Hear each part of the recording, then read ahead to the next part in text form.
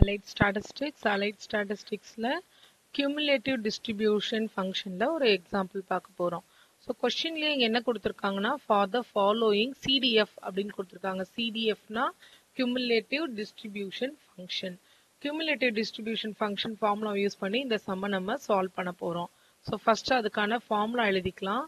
Formula வந்து P of capital X less than or equal to small எக்ஸை நம்மளால் capital F of எக்ஸ்னு எழுத முடியும். அண்ட் இதோட formula minus இன்ஃபினிட்டிலேருந்து X F of X into DX but நமக்கு இங்கே இன்டெகிரேஷன் தேவை கிடையாது. நம்மளால டைரக்டாவே ஏன்னா எஃப் ஆஃப் எக்ஸ் கொடுத்துட்டாங்க.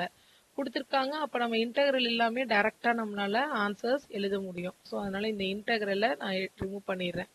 So function definition cumulative distribution ஃபங்க்ஷனோட definition capital P of capital X less than or equal to X equal to capital F of X. So first என்ன கொடுத்துருக்காங்கன்னா முதல்ல நம்ம வந்து ஒரு இன்டீஜர் லைன் மாதிரி மார்க் பண்ணிக்கலாம். நம்மளோட மைனஸ் இன்ஃபினிட்டிலேருந்து ப்ளஸ் இன்ஃபினிட்டி வரைக்கும் இருக்கும்.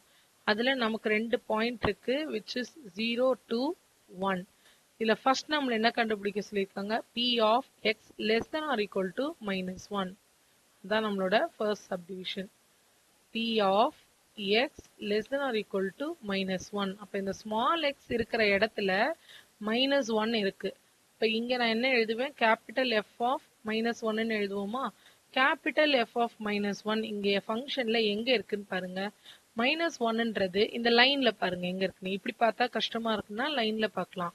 மைனஸ் ஒன்னுன்றது நமக்கு எங்க இருக்கும்? ஜீரோவோட பக்கத்தில் தான் இருக்கும். ஜீரோவோட கம்மியா இருக்கும். ஸோ ஜீரோவோட கம்மியா இருக்கிறதுக்கு எல்லாத்துக்கும் ஆன்சர் என்னன்னு கொடுத்துருக்காங்க. ஜீரோன்னு டைரக்டா கொடுத்துருக்காங்க. இங்க இருக்கு பாருங்க. ஸோ எதெல்லாம் ஜீரோவோட கம்மியா இருக்கோ அதுக்கான வேல்யூ வந்து டைரக்டாவே ஜீரோ தான். ஸோ அப்போ நம்ம டைரக்டா ஈக்குவல் டு ஜீரோ அப்படின்னு எழுதலாம் ஃபர்ஸ்ட் பார்ட்டுக்கு இதுதான் answer second subdivision second subdivision P of X less than or equal to zero point இப்போ ஜீரோ பாயிண்ட் ஃபைவ் நான் என்னென்னு எழுதிக்கலாம். எஃப் ஆஃப் ஜீரோ பாயிண்ட் ஃபைவ்னு எழுதிக்கலாம். இப்போ திருப்பி இதே ஃபங்க்ஷனுக்கு வாங்க. ஜீரோ பாயிண்ட் ஃபைவ்ன்றது எங்கே இருக்கும்? ஜீரோக்கும் ஒன்னுக்கும் நடுவில் தான் ஜீரோ பாயிண்ட் ஃபைவ் இருக்கு. அப்போ நான் இப்போ நான் எந்த ஃபங்க்ஷனை சூஸ் பண்ணணும்? இதை சூஸ் பண்ணணும். ஏன்னா அதுதான் ஜீரோக்கும் ஒன்னுக்கும் நடுவில் இருக்கிற zero point ஃபைவ்க்கான term so equal to X இப்போ என்ன அர்த்தம்? அப்படியே ஜீரோ பாயிண்ட் ஃபைவ் எக்ஸுக்கு பதிலாக zero point five so zero point five தான் ஆன்சர் வரும். தேர்ட் சப் டிவிஷன் என்ன கொடுத்துருக்காங்க நமக்கு? P of greater than zero point two X greater than zero point two நம்மளோட ஃபார்மேட் எப்படி இருக்கு? கொஞ்சம் மேலே பாருங்க. என்னோட ஃபார்மேட் எப்படி இருக்கு? Less than or equal to எக்ஸ்ல தான் இருக்கு. பட் இங்க நமக்கு என்ன கேட்டிருக்காங்க?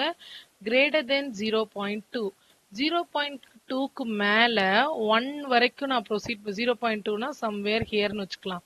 இங்க இருந்து ஒன் வரைக்கும் ப்ரொசீட் பண்றதுக்கு பதிலா நான் இந்த இவ்வளோ பார்ட்டை கவர் பண்ணிடலாம். ரிவர்ஸ்ல கவர் பண்ணிடலாம். அதை நம்ம எப்படி எழுதணும்?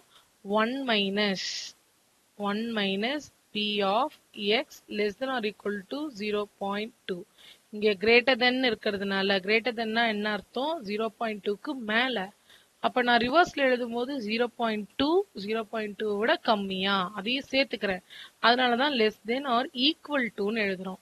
ஸோ இப்போ இந்த P of X less than or equal to zero point டூன்றதை நான் எப்படி எழுதலாம்? F of zero point two F of zero point டூன்றதும் நம்மளோட இந்த எக்ஸ் தான். டைரக்டாவே அந்த இடத்துல தான் இருக்கு.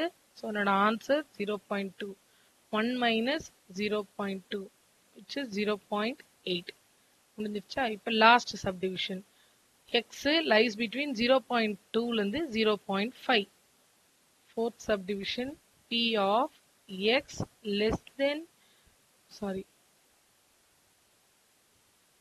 zero point two less than X less than or equal to zero point five மேலே போய் நம்ம அந்த லைன்லேயே மார்க் பண்ணி பார்க்கலாம். ஸோ லைனில் மார்க் பண்ணும்போது பாருங்க நமக்கு ஏற்கனவே என்ன தெரியும்? ஜீரோக்கும் ஒன்னும் தெரியும். ஸோ ஜீரோ பாயிண்ட் டூ இங்க இருக்கு. ஜீரோ பாயிண்ட் ஃபைவ் இங்க இருக்கு.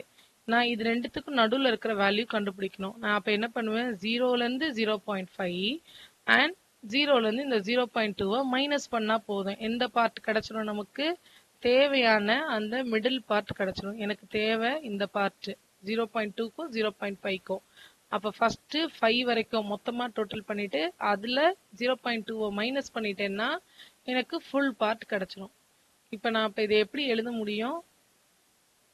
Equal to P of X less than or equal to zero point five minus P of X less than zero point two zero point five வரைக்கும் calculate பண்ணிட்டு அதுலேருந்து zero point டூவை subtract பண்ணுறோம் so இது F of zero point five minus இது F of zero point two zero point five zero point two ரெண்டுத்துக்குமே function X தான்.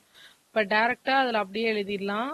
எக்ஸோட வேல்யூ ஜீரோ பாயிண்ட் ஃபைவ் எக்ஸோட வேல்யூ ஜீரோ பாயிண்ட் டூ ரெண்டையும் subtract பண்ணால் நமக்கு ஜீரோ பாயிண்ட் த்ரீ ஸோ இது in between region zero point three so இந்த மாதிரி கொஷின்ஸ் கொடுத்தாங்கன்னா இப்படி தான் ப்ரொசீட் பண்ணுற மாதிரி இருக்கும்.